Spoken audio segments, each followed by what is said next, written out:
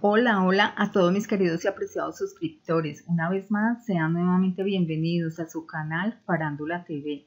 Noticia de última hora. Lamentamos el fallecimiento del actor colombiano Luis Fernando Orozco, el padre de nuestras queridas actrices Ana María y Verónica Orozco. Murió este jueves luego de permanecer varios días en delicado estado de salud.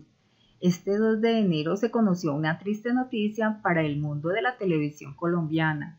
Lamentamos informar que el padre de nuestras queridas actrices Ana María y Verónica, el también actor Luis Fernando Orozco, falleció a sus 76 años. A través de su cuenta de Twitter, la Asociación Colombiana de Actores confirmó esta dolorosa noticia. Hoy nos despedimos de nuestro colega y amigo Luis Fernando Orozco. Le recordaremos por siempre. Un abrazo fraterno de la comunidad de actores y actrices de Colombia para su familia y amigos. Que en paz descanse. Fueron las palabras que acompañaron la foto a blanco y negro de Luis Fernando. El experimentado actor habría sufrido un paro cardíaco. A Orozco lo recordaremos por sus múltiples interpretaciones en la pantalla chica, como Pasiones Secretas, Don Gato y su pandilla. Y eso sí, no podemos dejar a un lado su exitoso papel de El Padre Rugeles en Don Chinche, con el que se ganó el corazón de miles de colombianos. Y eso no es todo, también hizo parte de obras de teatro, y escribió cientos de libretos para la Radio Nacional.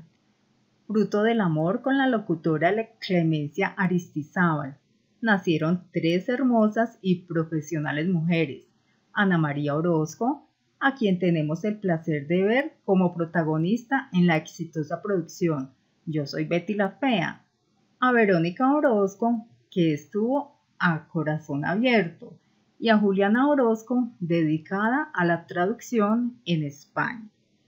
Hoy le decimos adiós a un gran hombre, a un padre entregado que nos deja un gran legado, a unas increíbles hijas que hoy siguen sus pasos, dedicadas a dejar su nombre en alto, y a un artista que lo dejó todo en la televisión y el teatro. Hasta siempre, Luis Fernando Orozco.